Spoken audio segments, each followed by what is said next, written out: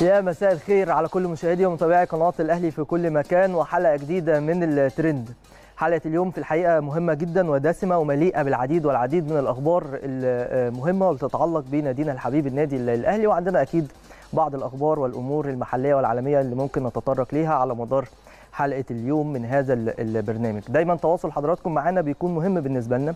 فبالتالي سؤال حلقة النهارده هو بيتعلق برسالة لو حضراتكم حابين توجهوها توجهوها للاعبي النادي الأهلي قبل النهائي الأفريقي يوم الجمعة بإذن الله تعالى وهي رسالتك إيه للاعبين؟ وهناخد تفاعل حضراتكم من خلال صفحات القناة المختلفة على السوشيال ميديا فيسبوك تويتر وانستجرام في الجزء الأخير تحديدا من حلقة اليوم.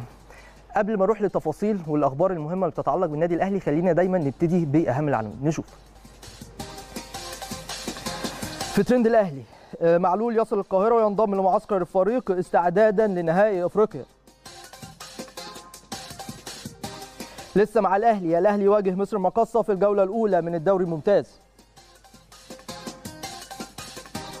أما في الترند العالمي صلاح ضمن القائمة المرشحة لأفضل لاعب في القرن الواحد والعشرون.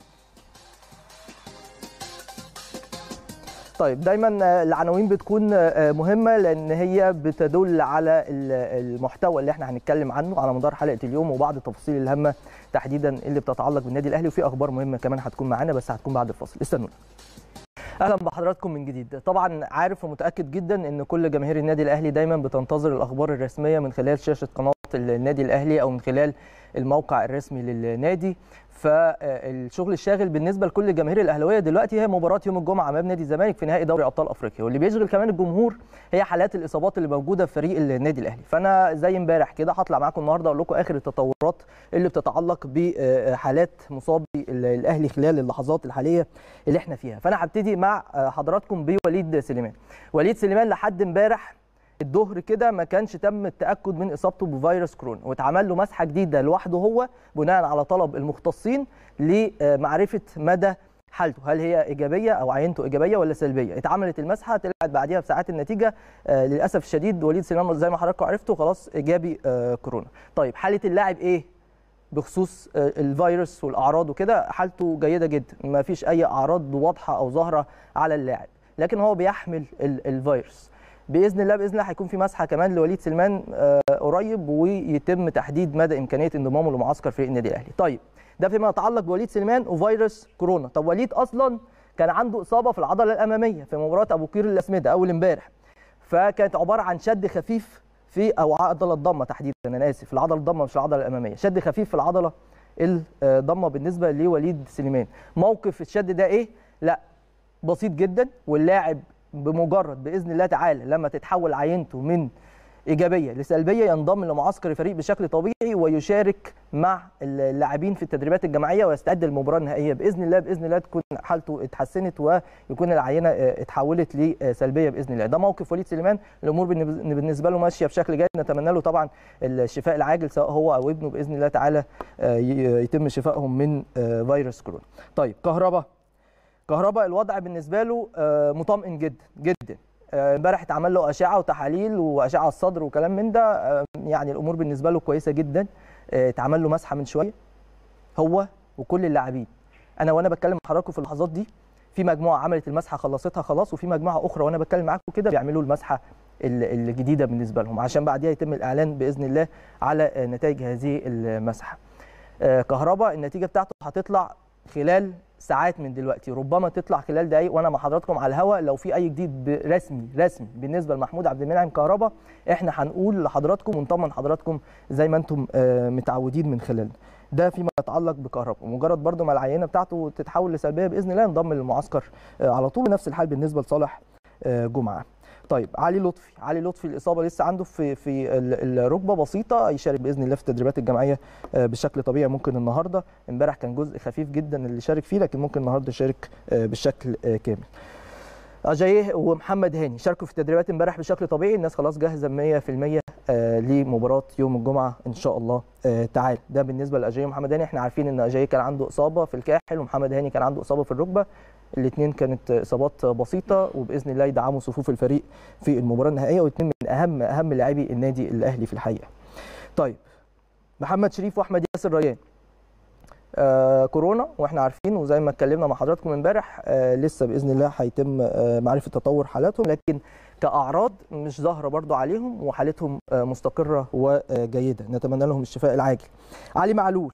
امبارح كان المفترض إن علي معلول يوصل ويشارك في التدريبات طبيعي لكن حصل عطل فني في الطيارة اللي كانت هتقل اللاعب للقاهرة فبالتالي تأخر وتعذر وصوله للقاهرة الأهلي تدخل في الجزئية دي وتم طبعا توفير طائرة أو تم التدخل من قبل النادي الأهلي عشان يساعد اللاعب في العودة للقاهرة وفعلا وصل علي معلول من ساعات قليلة جدا للقاهرة وهينضم لتدريبات الفريق النهارده إن شاء الله. وعلي معلول طبعا يعني أهميته معروفة بالنسبة للجميع. نتمنى له كل التوفيق مع الفرقة. ده فيما يتعلق بحالات الإصابة الخاصة بفريق النادي الأهلي. كمان عندنا حاجة مهمة قوي سعد سمير. سعد سمير أحد نجوم النادي الأهلي. هو حالته جيدة ما عندوش أي إصابة بفيروس كورونا اطلاقا وعمل مسحة مع اللاعبين وكمان من شوية عمل مسحة أخرى جديدة. آخر نتيجة طلعت لمسحة سعد سمير كانت سلبية مفيش أي مشكلة خالص. لكن الأمر بيتعلق ب والد ووالدة ووالدة سعد سمير وأخوه محمد سمير لاعب طلائع الجيش ومدافع فريق طلائع الجيش. للأسف الشديد هم عندهم كورونا ويعني من أسبوع تحديدا بيعانوا من الأعراض والأعراض كلها للأسف للأسف الشديد موجودة عند والد سعد سمير الحاج سمير ووالده سعد اللي حضراتكم شايفينهم طبعا في الصورة ومحمد سمير كذلك. حالتهم بتتحسن نسبيا بتتحسن نسبيا. لكن يعني إن شاء الله كل الدعوات والتمنيات لهم بالشفاء العاجل وإن هم بإذن الله يتعافوا من هذا الفيروس. وسعد موجود مع الفرقة الجهاز الفني كان يعني اداله الإذن أو قال له لو حابب إن أنت تبقى متواجد بجوار أهلك روح في نفس الوقت مستر موسيماني كان متمسك إن اللاعب يكون متواجد في المعسكر رغم إنه مش هيشارك في المباراه النهائيه طبعا. فاللاعب لسه ما قررش بشكل نهائي هيعمل إيه خلال الساعات الحالية لكن هو بيتواصل بشكل دائم مع أهله اللي نتمنى لهم يا رب كامل السلامة وإن شاء الله بإذن الله يتم شفائهم على خير. ده فيما يتعلق بكل الأمور اللي خاصة بلاعبي النادي الأهلي وكل واحد مصاب إن شاء الله يرجع سليم. طيب الفرقة بقى إيه اللي بيحصل دلوقتي؟ الفريق الأمور بالنسبة له ماشية إزاي؟ في عدد كبير جدا من الشائعات اللي بتخرج على اللاعبين وإن ده عنده كورونا وده مصاب وده كده لحد امبارح التدريبات بالنسبة للنادي الأهلي ماشية بشكل أكثر من طبيعي يعني مفيش أي مشكلة خالص. فيما عدا وليد سليمان خلاص بره هو وكهرباء بره يعني الفترة الحالية الأيام الحالية الساعات الحالية اللي أنا بتكلم مع حضراتكم فيها. وليد وصالح وكهرباء بخلاف محمد شريف واحمد ياسر ريان كده كده هم مش مقيدين أفريقيا. الفرقة بقى الباقي مشغلين كويس قوي في التدريبات. الأمور مستقرة جدا وتدريبات قوية ومميزة بيأديها اللاعبين بمنتهى الجدية والحماس اللي مطلوبين واللي هم عارفينه كويس جدا وأهمية هذه المباراة القادمة أمام فريق نادي الزمالك في نهائي دوري أبطال أفريقيا. فأنا عايز أكد على حضراتكم أي حاجة بتخرج أو بتتقال على السوشيال ميديا أو بتتقال من بعض الشخصيات على السوشيال ميديا أو بعض الصفحات ما تاخدوهاش إنه أمر مسلم بيه لحد لما يعلن النادي الأهلي بشكل رسمي من خلال موقعه الرسمي أو من قناته الرسمية. الأمور مستقرة والفريق بيستعد بكل قوة وجدية للمباراة النهائية وهي من ضمن أهم المباريات خلال الفترة الحالية بكل تأكيد. إن شاء الله خير وإن شاء الله بإذن الله الاهلي يكون موفق خلال هذه المرحلة والأمور تسير على ما يرام. طيب ده فيما يتعلق بأخبار النادي الأهلي. بالمناسبة لسه عندي أخبار مهمة عن النادي الأهلي هقولها لحضراتكم بس لما يجي وقتها بإذن الله. طيب النهارده كان في خبر أيضا مهم بيتعلق بالاتحاد الأفريقي والاتحاد الدولي لكرة القدم. بعد ما أعلن بشكل رسمي إيقاف أحمد أحمد رئيس الاتحاد الأفريقي لمدة خمس سنوات وده أو دي عقوبة من قبل الفيفا بسبب إيه؟ يعني بسبب إدانته بارتكاب مخالفات مالية وإدارية. والغرفه القضائية بلجنة الأخلاق التابعة للفيفا أدانت المسؤول الكروي الأول في أفريقيا بانتهاك واجبات الولاء لوظيفته ومنح هدايا ومزايا أخرى واستغلال المنصب والتصرف على نحو غير مشروع في الموارد المالية لكاف. وده أمر كان تم الإعلان عنه اليوم من قبل الاتحاد الدولي لكرة القدم وفرضت الفيفا كمان غرامة مالية على أحمد أحمد قدرها 200 ألف فرنك سويسري نحو حوالي يعني 220 ألف دولار زي ما ظهر في البيان اللي طلع النهارده. وإحنا عارفين أحمد أحمد يعني عنده يعني راجل كان دولته أو من من مدغشقر تحديدا يعني بيبلغ من العمر 60 عاما وكان ترأس الاتحاد الأفريقي في 2017 إحنا نتمنى يعني إن الأمور تنصلح في الاتحاد الأفريقي تحديدا فيما يتعلق بالجوانب اللي بتتعلق بالفساد والكلام ده لأن بصراحة الكرة الأفريقية نفسها فنيا بتتطور لكن قرارات من الاتحاد الأفريقي ومن هذا القبيل وأمور بتعطل يعني حاجات كتير جدا تتعلق بالفرق الأفريقية المختلفة. نتمنى إن يكون في تطور شوية على كل الأصعدة الخاصة بالاتحاد الأفريقي لكرة القدم. طيب من ضمن الأخبار كمان المهمة النهارده هو قرعة بطولة الدوري الممتاز لموسم 2020 2021 واللي أجريت اليوم في تمام الساعة الثانية عشر ظهرا وتم الإعلان عن جدول مباريات كل الفرق وده بالمناسبة اللوجو الجديد اللي ظهر على قدام حضراتكم على الشاشة. يعني في ناس شوية بتتكلم على اللوجو إن هو يعني الناس في الاتحاد الكورة استوحت اللوجو شوية من لوجو الدوري الإنجليزي. ماشي. يعني الموضوع مقبول شوية في تطور نسبي كان ممكن اللوجو يبقى أفضل من كده لكن هو برده في كل الأحوال مش وحش يعني. هو مجهود جيد من المسؤولين في الاتحاد المصري لكرة القدم أو أو اللجنة الخماسيه زي ما حضراتكم شايفينه كده قدامكم. هو ده اللوجو الجديد للدوري المصري واللي تم الإعلان عنه. التنظيم كان كويس اللوجو برده فكرته مش وحشة رغم إنه كان ممكن يبقى أحسن من كده بس دايما أي حاجة بتبقى كويسة في الأحسن منها مفيش مشكلة. لكن خطوة في حد ذاتها خطوة جيدة. فبالتالي وده طبعا المهندس مازن مرزوق رئيس لجنة المسابقات بالجديد طبعا بالاتحاد المصري لكرة القدم. خلينا نقول لحضراتكم ماتشات الأهلي بعد إعلان الجدول. الأهلي الجولة الأولى هيقابل المقصة الجولة الثانية زي ما حضراتكم شايفين كده غزل المحلة. الجولة الثالثة الاتحاد السكندري. الجولة الرابعة الزمالك. وده الموسم الثاني على التوالي اللي يقابل فيه الأهلي والزمالك بعض في الجولة الرابعة بالصدفة يعني طبقا للقرعة يعني. الجولة الخامسة وادي دجلة سادس مباراة هتكون أمام سيراميكا كليوباترا الصاعد حديثا للدوري الممتاز بعدهم الإنتاج الحربي البنك الأهلي المقاولين العرب بيراميدز في الجولة العاشرة سموحة وبعديهم الإسماعيلي إنبي طلائع الجيش المصري الجونة أسوان في كل الأحوال اللي أقدر أأكد عليه واللي أكيد حضراتكم متأكدين منه إن إحنا هنشوف دوري مميز جدا وقوي هذا الموسم ومنافسة هتكون قوية في مختلف المراكز على بطولة الدوري خصوصا في ظل التدعيمات الكتيرة اللي بيها كل فرق الدوري الممتاز حتى الفرق اللي صاعدة للدوري الممتاز عملوا تدعيمات مميزة لصفوفهم. طيب خليني أروح سريعا لزميلنا العزيز شريف شعبان واللي خص برنامج الترند بتقرير مهم جدا مع المهندس مازن مرزوق رئيس لجنة المسابقات الجديد في الاتحاد المصري لكرة القدم وعقب الإعلان عن جدول الدوري الموسم الجديد موسم 2021 نروح نشوف التقرير بعدين نروح لفاصل بعد كده نرجع نكمل أخبارنا. يلا بينا. تحياتي لك زميلي أمير ولكل مشاهدي قناة النادي الأهلي في كل مكان بعد انتهاء فعاليات قرعة دوري ممتاز 2021 معي رئيس لجنة المسابقات أو مدير لجنة المسابقات كابتن مازن مرزوق بعد رجوعه من جديد إلى إدارة المسابقة. بقول لك أهلا بيك على شقات النادي الأهلي وتحياتي الكابتن أمير هشام ليك. أهلا بيك وتحياتي لقناة النادي الأهلي و يعني آه نرجع تاني لمنصب رئيس لجنة المسابقات. آه كنت الحقيقة أتمنى استمرار حسام الزناتي. ولد شاب مجتهد جدا وعنده فكر كويس وكنا على تواصل الحقيقة يعني كان نفسي إنه يكمل عشان ندي فرصة للشباب بقى يبتدي ينطلق لكن ظروفه يعني ظروف عمله. ف يعني اتزنقت في القصة دي دلوقتي. موسم صعب يعني أنا عارف إنه صعب لكن إن شاء الله بإذن الله الأمور تمشي كويس. لو تعاوننا كلنا الأندية كلها تعاونت والمنظومه كلها تعاونت وكل أفراد المنظومة سواء اتحاد ولجان وأندية وإعلام. حضرتك قلت يوم بداية الدوري 11 ديسمبر مظبوط؟ إن شاء الله. هنبدأ الأسبوع الأولاني 11 ديسمبر على طول؟ آه إن شاء الله. 11 ديسمبر السوبر المفروض يوم 10 سوبر أفريقي اللجنة الخماسية بعتت للاتحاد الأفريقي. تحديد يوم 10 السوبر الأفريقي وإن شاء الله نبدأ الدوري يوم 11 إن شاء الله. حصل اجتماع مع اللجنة الخماسية قبل أنا ما أجي يعني الكلام ده من أسبوعين أو أكتر. وتم استعراض الموقف إن يلعبوا دوري من دور واحد بعديه تصفيات على المراكز الأربعة وعلى الهبوط. الأندية رفضت وقالت لا نلعب دوري من دورين. وبالتالي اللجنة الخماسية قالت لهم يبقى بالتالي هنلعب الماتشات الأخيرة بدون لاعبي المنتخب الأولمبي. وكل أغلبية الحاضرين وافقوا. يعني ما كانش في اعتذارات تذكر فبالتالي الأغلبية العظمى يعني وافقت. فبالتالي ده اللي هيتم لأن صعب قوي إن إحنا نكمل. لو هنقف للمنتخب الأولمبي ونقف الاولمبياد هم هم هم 18 واحد اللي هيتاخدوا للأولمبياد. لكن إحنا قلنا كده لاستمرار المسابقة لأن إحنا لازم نخلص.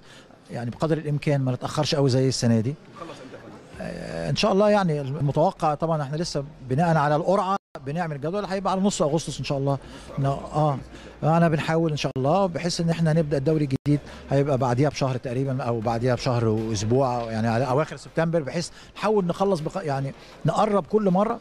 بحيث إن إحنا في يعني بعد سنة أو السنة اللي بعديها أو اللي بعد نبدأ في أغسطس ونخلص في مايو زي العالم كله. قصة الإجهاد دي مش موجودة دلوقتي في علم الكرة.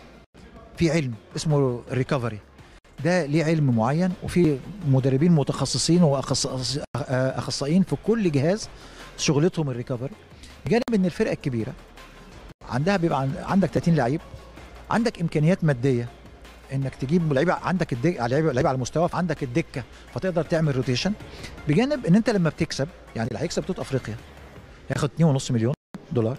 هيروح كأس العالم الانديه ياخد 6 مليون دولار plus السوبر 200 ألف دولار يعني حوالي 9 مليون دولار. هيقدر يعمل يجيب بيهم لعيبه و... فبالتالي الفرق العالم كله ماشي كده. الفرق الكبيرة اللي بتكسب بيبقى عندها إمكانيات مادية فبتقدر تجيب لعيبة دكة كويسة. فبالتالي لما بيتعرض للضغوط المباريات بيعرف يتصرف يعمل روتيشن حاجة. هتقول لي بقى الفرقة الصغيرة هترجع تقول لي إحنا ما عندناش ما هو أنتوا الفرقة الصغيرة برضو بالتالي بتلعب 34 مباراة فقط. الفرق الثانية اللي وصلت يعني يعني الأهلي والزمالك وصلوا نهائي أفريقيا لعبوا 34 دوري لعبوا 13 ماتش أفريقيا. الكاس لو وصلوا النهائي هيبقوا لاعبين خمس ماتشات. plus إن لسه اللي هيكسب هيلعب سوبر ويلعب كأس عالم أندية. والفرقة الثانية ما لعبتش غير 34 ماتش وممكن تكون لعبت ماتش أو خم... أو اثنين أو ثلاثة في الكاس بالكثير ففرق حوالي 18 أو 20 ماتش ما بين الفرقة دي والفرقة دي. فهي هي يعني هتلاقيها بتوازي. الجدول إن شاء الله هنخلصه. يومين ثلاثة بالكثير ولازم لازم أبعته الامن وهضطر أنتظر موافقة أمنية وعندي ثقة كبيرة السنة دي. الحقيقة الأمن متعاون إلى أقصى حد. الحمد لله البلد بتعيش أزهى عصورها على المستويات كلها بما فيها المستوى الأمني واقتصادي وسياسي وبنية تحتية وكل حاجة. فيهيألي إن الكورة برضه هيبقى لازم تظهر بالمستوى ده.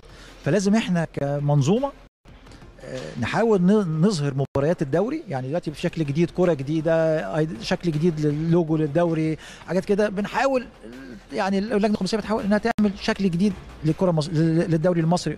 فإحنا عاوزين في جوه الملعب بقى الاعتراضات تقل الحاجات دي كلها.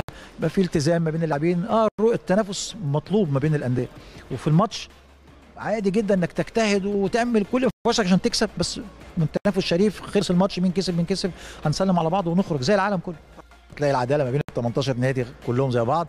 آه العقوبات إن شاء الله هنعلنها. هنعلن لما بنخلص لائحة العقوبات تخلص وهنعلنها للناس كلها. لكن عاوز أقول لك برضو إن ساعات بتبقى في حاجات آه يعني مش فيكس العقوبة ما بتبقاش ثابتة.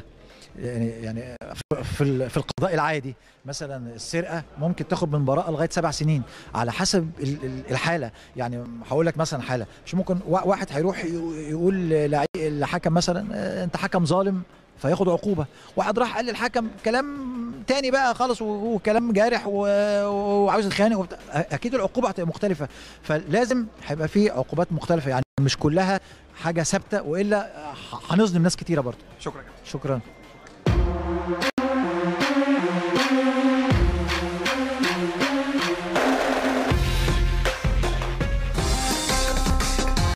أهلا بحضراتكم من جديد. طبعا ملفات عديدة بتشغل بال الجمهور المصري بشكل عام في الحقيقة سواء سواء على الصعيد العالمي الصعيد الأفريقي الصعيد المحلي. وبالتحديد كمان كل ما يتعلق بمباراة القمة الأفريقية والمباراة الكبيرة جدا اللي هتكون ما بين الأهلي والزمالك في نهائي دوري أبطال أفريقيا يوم الجمعة القادم الساعة 9 مساء على استاد القاهرة الدولي. عشان كده في هذه اللحظات من خلال فقرة ترند أونلاين من خلال حلقة الترند النهارده هيكون معانا اثنين من كبار النقاد الرياضيين عبر تطبيق زوم الأستاذ عبد المنعم فهمي والأستاذ محسن لملوم مدير تحرير الأهرام الرياضي. يا أستاذ عبد المنعم أهلا بيك منورنا ومشرفنا.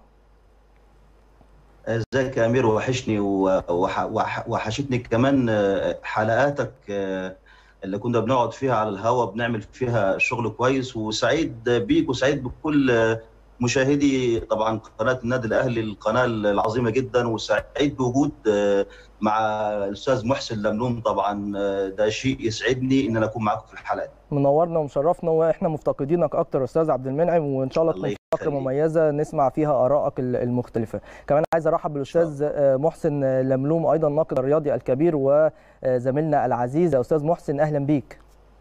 أهلا بيك يا أستاذ أمير. على طول بصراحة بسعد إن أنا أكون معاكم في قناة الأهلي. قناة النادي النادي الأهلي النادي العظيم. وطبعا سعيد بوجودي مع أخويا وحبيبي الأستاذ عبد المنعم منورنا ومشرفينا طيب أول ملف وهو الخبر اللي اتفاجئنا بيه كلنا الصبح من خلال الفيفا والإعلان الرسمي بإيقاف أحمد أحمد رئيس الاتحاد الأفريقي لكرة القدم لمدة خمس سنوات. يا أستاذ محسن عايز أخد رأيك في الجزئية دي وهل القرار ده والإيقاف ده كان منتظر طبقا لما يحدث على مدار عدد من السنوات السابقة في الاتحاد الأفريقي لكرة القدم. بسم الله الرحمن الرحيم. طبعا كان متوقع هو بس بالنسبة لي كنت مستني إمتى هيحصل. يعني استبعاد أحمد أحمد أحمد كان أمر يعني لا مناص منه. بس كنت كنت مستني يحصل النهارده يحصل بكرة يحصل بعده. وهو حصل النهارده الصبح إن شاء الله. الحمد لله يعني كانت خبر جميل جدا.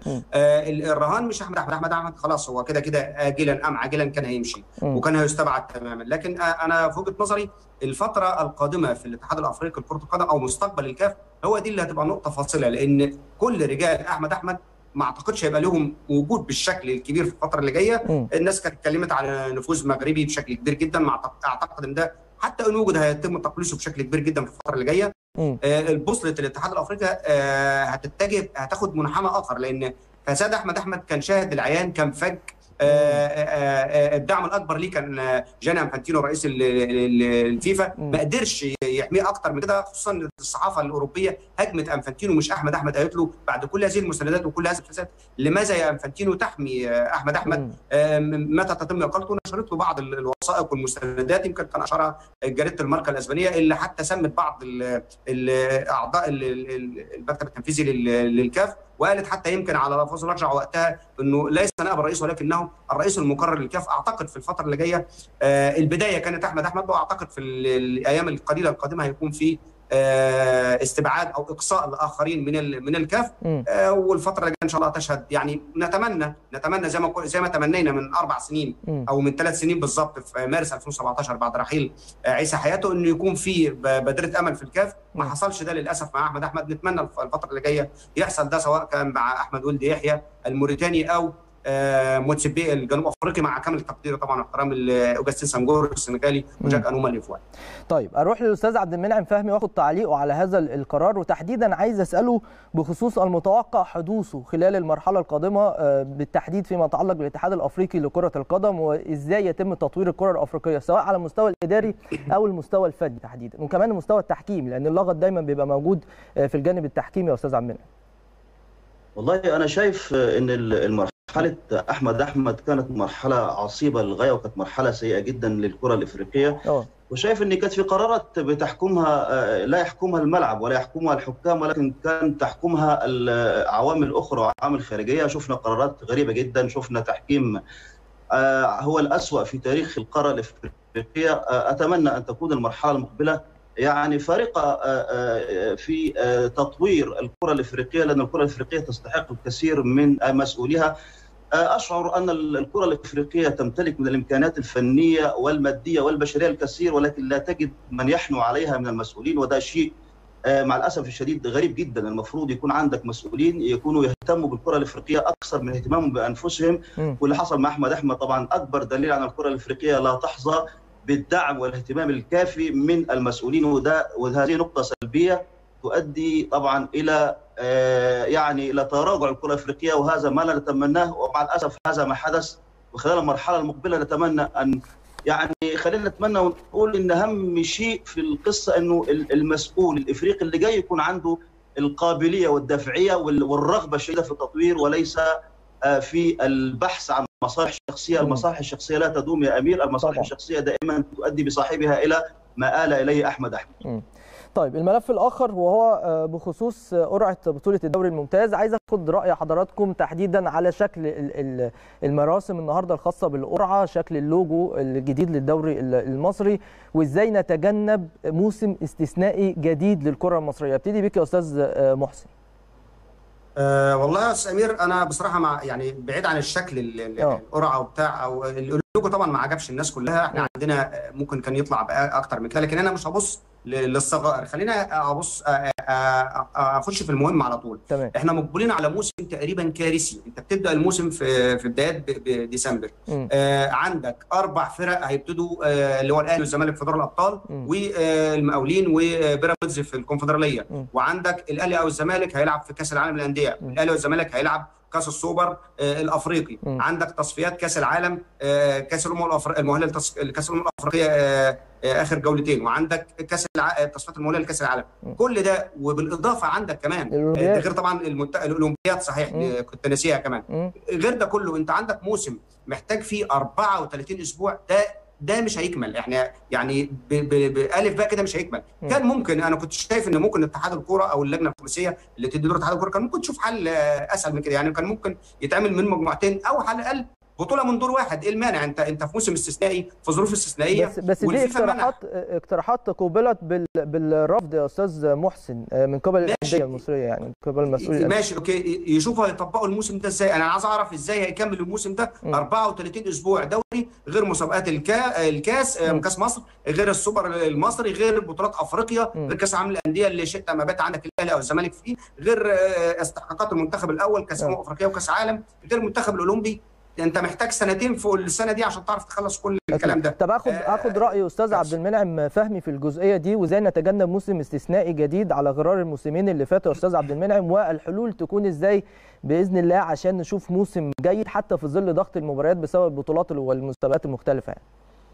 هقول لك على معلومة اتفضل. آه، المرة الوحيدة التي بدأ فيها الدوري في ديسمبر مرة واحدة سنة 2013 2014 والغريب. جدا 2013 2014 أقيم من مجموعتين هذا الدوري الذي يقيم من مجموعتين زي ما بيقول محسن انتهى إمتى؟ انتهى في شهر سبعة آه تخيل يعني مجموعتين وانتهى في شهر سبعة بعد التصفيات وال... وال... والبطولات اللي هي اللي هي الداخلية الفريق يلعب مع مين. المهم إن وصلنا يوم 6 7 م. تم نهاية الدوري تخيل فريق آسف دوري من مجموعتين يخلص في سبعة طب فما بالك بدوري هيتلعب من آه، آه، من من كل هذه المباراه 34 مباراة لكل فريق زي ما قال محسن محتاجين سنتين وطبعا إحنا حتى لو أقول لك على حاجة. إحنا يمكن من خلال بحث الدائم في الدوري المصري ومتابعتي ليه آه الانتظام آه بالنسبة للدوري المصري ده حاجة شاذة. يعني إحنا في في البطولات اللي اتلعبت كلها الملغاة وال- وال- والتي أقيمت لا يوجد لا يوجد عام في حسينا فيه آه، إنه تم بداية تم إعلان بداية للدوري وتم إعلان نهايه وهذا لم يحدث على الإطلاق. إحنا دايما بنعيش في في في في صعوبة شديدة جدا في تحديد الدوري متى يبدأ الدوري متى ينتهي. آه، طبعا مش عايز أقول لك إنه في جزء هنا بيرجع للتضاريس وال- والجغرافيا. والسفر والأفريقيا غير أوروبا والكلام ده هو جزء معذورين فيه لكن في النهاية أنت برضو بتحاول تبحث عن حلول لهذا الدوري لكن مع الأسف لا تجد يعني ده شيء آه، آه، يعني آه، آه، بكلمك عن عن تاريخ. بكلمك عن دوريات آه، حصلت قبل كده وهذا يؤدي دائما بنا إن الدوري المصري لن ي... لم ولن ينتظم لأنه طبعا أمور كثيرة جدا وأنت بتشوف الدوري السنة اللي كان طيب. ممكن ينتهي بدري آه. آه لكن طبعا مسؤولين كانوا بيتدخلوا تاجيلات والأمور دي يعني. بالظبط طيب الأهم بقى بالنسبة لكل جماهير الكرة المصرية خلال الفترة الحالية والساعات الحالية والأيام القادمة حتى يوم الجمعة وهي مباراة الأهلي والزمالك في نهائي بطولة دوري أبطال أفريقيا أستاذ محسن لملوم رؤيتك لهذه المباراة سريعا وتوقعاتك ليها طبعا لا التوقعات صعبة جدا آه، يعني الفرقتين في تقريبا ما. تقدرش تقول مين يكسب طبعا. الموضوع صعب جدا التوقع بكل أمانة صعب جدا مم. لكن آه، رؤيتي ليها أنا والله عايز عايز أخد جانب بعيد عن الأمور الفنية عايز أقول إن أنا عجباني ال- الأمور التهدئة شوية لأن يا. جماعة دي مش نهاية العالم بالظبط حصل قبل كده في دوري أبطال آسيا اتقابلوا قبل كده كذا مرة آه،. فرق من من من بلد واحدة في. النهائي حصل في أوروبا حصل في أمريكا الجنوبية يمكن كان أشهر طبعا نهائي الكومبينول اللي هو اوروبا أوروبا ما أعتقدش الكولومبو- انها حصلت أوروبا ما حصلتش لا حصلت حصلت حصلت حصلت ريال مدريد في في ريال مدريد وأتلتيكو مدريد مرتين ومش آه بس آه، ما ريال حصلتش اللي هو بس مش ريال مدريد آه، آه، وبرشلونة وك- الأكثر جماهيرية يعني. بس حصل مثلا اليوفنتوس وانت وميلان مثلا كان مم. 2003 مم. آه، لكن لكن آه، عايز أقول ان ان إن بعد المباراة دي يوم 27 بعدها تمام. بحوالي أربع أيام الاهلي هيلاعب الاتحاد الزمالك هيلاعب. طلائع الجيش وممكن يتقابلها في النهائي وكده كده يتقابلوا في الأسبوع الرابع للدوري أكيد، يعني أكيد. يعني الأمور تهدى شوية مش عايزين الله، بإذن ال- الله. الصخر أستاذ عبد المنعم رؤيتك لهذه المباراة آه، مباراة مهمة جدا يعني أهم جزئية في المباراة أن ال- ال- الهدوء الفريق الأهدى. أعصابا الفريق اللي عنده قدرة أن هو يمتص حماس الفريق المنافس هتكون دي الغلبة في هذه المباراة خصوصا أن المباراة دي محتاجة مش محتاجة استعجال هو ما فيش جمهور في الملعب بيقولوا إن احتمال ممكن يحضر جمهور لكن المهم في هذه المباراة أن يكون خلي بالك مش ما ينفعش إنك تقول قبل المباراة مين اللي هيكون ال- الكفة الأرجح خصوصا الأهلي والزمالك أي نعم بالظبط. الأهلي كفته أرجح في البطولات في البطولات الإفريقية وانتصاراته أعلى بس وانتصاراته طبعاً. أكبر مم. ما عدا ماتش السوبر لكن الأهلي والزمالك إن لا خلي بالك في حاجة.